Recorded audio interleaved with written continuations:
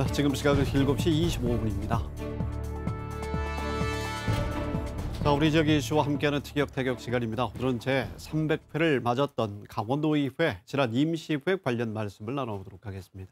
강원도의회의 허소영 더불어민주당 원내대표, 심상화 국민의힘 원내대표 두 분을 모셨습니다. 안녕하십니까? 네, 네, 안녕하십니까. 안녕하십니까. 어서 오십시오. 네. 자, 레고랜드 이야기로 좀 오늘 먼저 진행을 하도록 하겠습니다. 뭐 여, 야 모두 문제가 있는 사업이다라고 공감을 하고 있는 것으로 알고는 있습니다만 강원국제컨벤션센터 부지 매입안이 한 달 전에는 부결이 됐다가 이번에는 통과가 됐습니다. 결과가 달라졌습니다. 이제는 돌이킬 수 없는 상황이라서 통과가 됐다. 통과를 시켜야 했다라는 말을 듣고 있는데요. 자, 양 대표님 자세한 말씀을 좀 부탁드리겠습니다. 아까 먼저 이렇게 양보를 하신 것 같으니까. 제가 먼저 양보를 하겠습니다. 양보를 아, 우리 허세영 대표께서 하실 말씀이 많으신 것 같은데 양보를 해주셔서 제가 좀 말씀을 드리겠습니다. 아 정말 300회를 맞아갖고 좋은 안건이 들어와갖고 정말 1년밖에 남지 않은 도정 마무리를 잘 해야 되는 이런 시기에 정말 어려운 것을 또 저희가 그 심사하게 되었습니다. 말씀하셨듯이 강원국제 전시 컨벤션 센터 부지 이 매입과 건물 취득의 건이 이제 동의안이 올라왔는데요. 기획예산 통과하고 부지 매입비 499억 원은 경건위를 통과하고 이번 예결위 본회의까지 통과가 되었습니다. 네. 아, 아마 내일 이제 그 제2차 300회 2차 본회의에서 최종 의결을 하게 되는데요. 아마 이 동의안은 부결되기가 좀 그 가결되기가 좀 어렵지 않을까. 제가 내일 이제 그 부, 가결에 대한 찬반 그 의견을 좀 물으려고 지금 오늘 네. 접수 의사관실에 접수를 해놓고 왔거든요. 이 문제는 뭐냐 그러면 이 컨벤션 센터 부지인지 저 레고랜드 주차장 부지인지 이게 알 수가 명확하지 않다는 네. 것이고요. 이게 3년 전에 받았던 평당으로 제가 계산을 해드리겠습니다. 65만 원의 강원도가 중도 개발공사에다가 매각을 했는데 3년이 지나서 다섯 배가 오는 300, 약 300억 원, 300만 원에 다시 재매입한다는 것입니다. 네. 뭐 이런 것도 지금 의미가 되지 않고요. 또 우리 허소영 대표께서 그 예결위 우리 상임위 심사할 때 이 컨벤션 센터의 타당성에 대해서 확보되지 않았다라는 말씀도 하셨고 우리 의원님들께서도 뭐 여러 분이 말씀을 하셨습니다.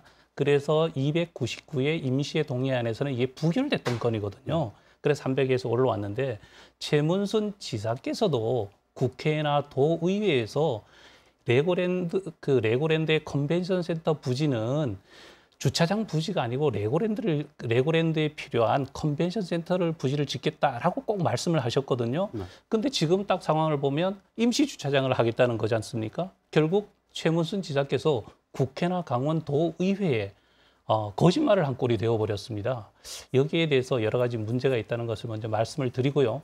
그 허소영 대표께서 하시는 말씀을 듣고 제가 다시 말씀을 드리도록 하겠습니다. 오늘은 이 얘기만 할 건가요? 어, 말씀하셨던 것처럼 상당히 좀 논란과 더 다양한 의견이 오갔었습니다. 지난 회기에 이어서 이번에도 마찬가지 상황이 있었었고요. 어, 뭐 컨벤션 센터라는 것이 이제 코로나 19 때문에 비대면 기술이 많이 확장이 되고 또 그에 따라서 대규모 컨벤션 센터의 어떤 활용도가 높지 않을 것이다라는 우려도 있었고 또 도비 전액이 투입이 돼서 어, 진행돼야 된다는 점도 상당한 부담이었습니다. 그래서 그렇게까지 하면서 과연 이 설립이 시급한, 시급한가에 네. 대한 논란도 같이 있었고요.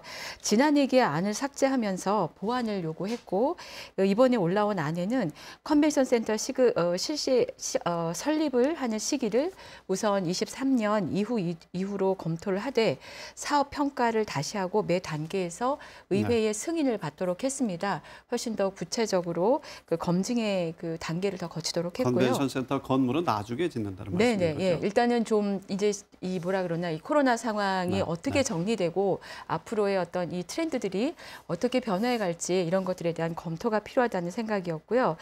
어, 말씀하신 것처럼 많은 예산이 투입되는 것이기 때문에 더 신중하게 그 진행되어야겠다라는 것으로 그 합의를 좀 이룬 바가 있습니다. 네. 그럼에도 불구하고 얘기하셨던 것처럼 매입 비용에 대한 뭐 부담이라든지 또 그 과정에 대해서 어, 상당히 그 여러 무거운 논의가 거듭이 네. 됐었습니다. 어, 다만 이제 그 담당 부, 부서에서 그 해당 부지의 그 토지 값이 어, 그 비용이 높아진 데에는 어, 기본적으로 그 컨벤션 센터로서의 용도 변경이 있었고 용도 변경에 따른 기반 시설들이 어, 투입이 된 이후기 때문에 네. 이 가격은 어쨌든 도가 자체적으로 정한 것이라기보다는 두 개의 감정 평가를 받아서 그 평균을 낸 것으로 진행이 된 것입니다. 아, 그래서 일단은 저희가 그 진행을 하는 과정에서 지금 하드웨어로서의 서- 어, 컨벤션 센터 설립을 유예하는 대신에 말씀하신 것처럼 당장의 쓰임은 아마 임시 주차장처럼 쓰이는 네. 것으로 얘기가 되고 있습니다. 어, 진행하는 과정에서 저희가 충분히 복토를 하고 또 파쇄석을 깔아서 최대한 하층 부의 그 유적들이 손상이 없도록 네. 운영을 할 계획이고요. 또 토지의 활용 방안이나 이런 것들에 대해서는 어, 이 코로나 상황과 더불어서 같이 논의를 해봐야 될 필요가 있지 않을까 봅니다. 그 외에 또 다른 뭐 결정의 시간은 있다는 말씀이신가요? 아, 저는 사실 그렇게 보지는 않고요. 지금 굉장히 어려운 이 사안인데 지금 이 컨벤션 센터를 지을지 말지는 차기 도정으로 미뤘습니다.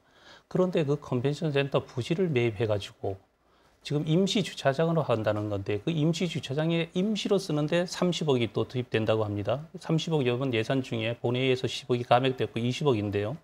그것도 제가 이해하지 못하겠지만 그를 임시 주차장을 쓸 정도면 우리가 저희 국민의힘에서 이제 그 대안을 제시를 했거든요. 어, 지금 말씀하신 그 지금 할 수- 중도 선착장 인근에 삼천동이라는 이제 부지가 있습니다. 여기가 지금 도의지가 한 만한 이천 평 정도 되는데 이쪽으로 임시 주차장으로 해가지고 네. 좀 셔틀 버스라든가 이렇게 한다 그러면 좀 그 교통량도 좀 분산이 네, 되고 네. 또 지역 개발도 되는데 그러면 다시 몰린사하고 강원도하고 재협약을 좀 할 수 있는 네, 방법은 네. 없는가라고 했더니까 그것마저도 되지 않는다 이런 답변을 들었어요. 지금 네. 난감한 그 상황이 그러면 벌어진 지난번에 것이죠. 컨벤션 센터 부지 매입안이 통과가 안 되어서 멀린사에게 1,800명의 주차장을 만들어 제공하지 못했다면 어떤 위약금 과 책임을 져야 하는지 그래서 이 MDA를 잘 협상하자 총괄 개발 협약을 다시 맺어야 한다는 지적도 있는데요.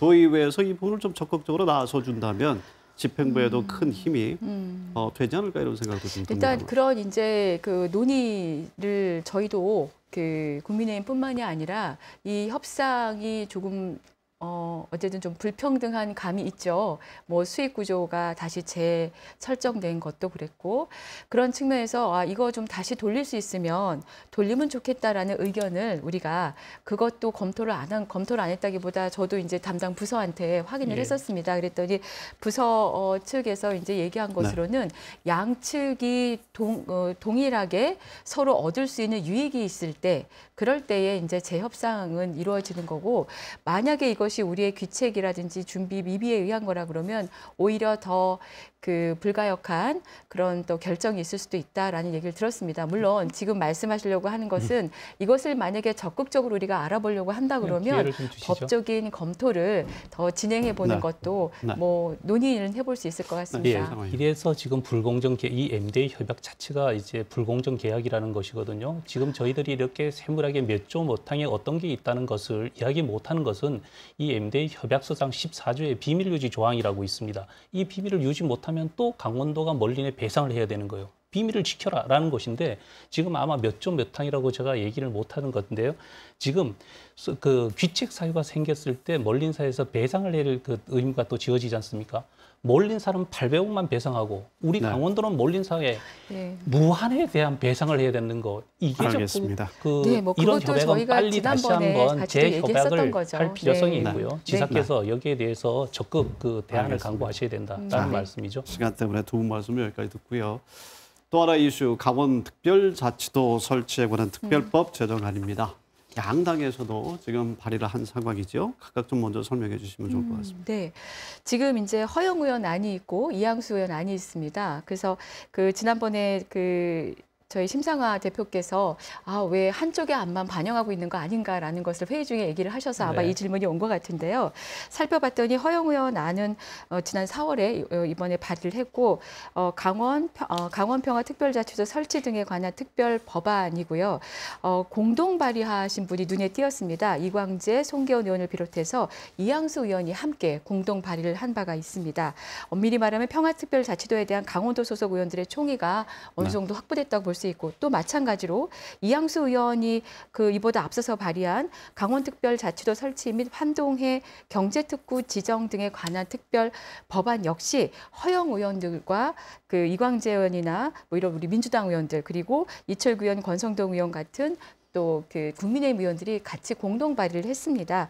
아, 따라서 이 두 법안은 서로 충돌하거나 대립한다고 하기보다는 서로의 특징을 가지고 발의됐고 그것이 양 당의 법을, 법을 발의한 양 당의 국회의원들이 상당한 합의와 네, 네. 그 공감대를 가지고 진행됐다라고 판단을 합니다.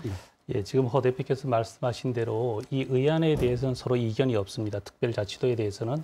그런데 지금 이양수 의원이 대표 발의한 것은 2021년도 그 어, 2020년도 9월 1일 날 그 21대 1호 법안으로 발의했거든. 이때는 강원도 의원 9분이 국회의원 5분이 다 하셨어요. 국회의원이 그 발의한 걸 갖고 우리 도의원들이 이렇다 저렇다 이야기하는 게 아니고요. 정말 그 강원 특별자치도가 어느 방향으로 가야 되는가가 첫 번째고 두 번째는 우리가 예산이 여기가 투입됩니다. 이양수 의원이 발의한 예산 그 특별법이 있고 네. 또 허영 의원이 특별 그 발의한 게좀 있습니다. 부탁합니다. 지금 네. 강원도 그 평화지역 발전 본부 그 그, 네, 네. 그 강원도에서는 지금 이양수 의원이 한 것보다는 음. 민주당 의원이 한 허영 의원이 한 평화특별자치도에 대해서는 집중적으로 홍보 예산이 들어간다. 아, 그래서 네. 그 이런 것을 제가 조금 더 말씀드리고요. 확, 확인을 네, 예, 드리려고요. 네, 쓰시죠. 잠깐 말씀을 네. 드리겠습니다. 어, 그것은 사실은 이제 허영 의원이 발의했지만 이전에 이전에 우리 심기준 의원이 먼저 시작해서 같이 진행해온 역사가 있습니다. 그것도 강원도에서 영, 강원 네. 연구원이랑 심기준 의원 그래서 같이 진행해온 역사에 의한 것이고요. 지금 현재 알겠습니다. 그 특별구역과 관련해서 지금 양 법안을 통합한 것을 용역으로 강원도가 준비하고 있다고 알겠습니다. 들었습니다. 저는 여기까지 무엇이 강원도에 하겠습니다. 이익이 되는 중요하죠. 확인해야 공감합니다. 된다는 것이죠. 네, 논의 과정이 네. 필요하다 이렇게 네. 말씀드립니다. 네, 허소영 의원님, 심상화 의원님 오늘 고맙습니다. 네. 네, 감사합니다.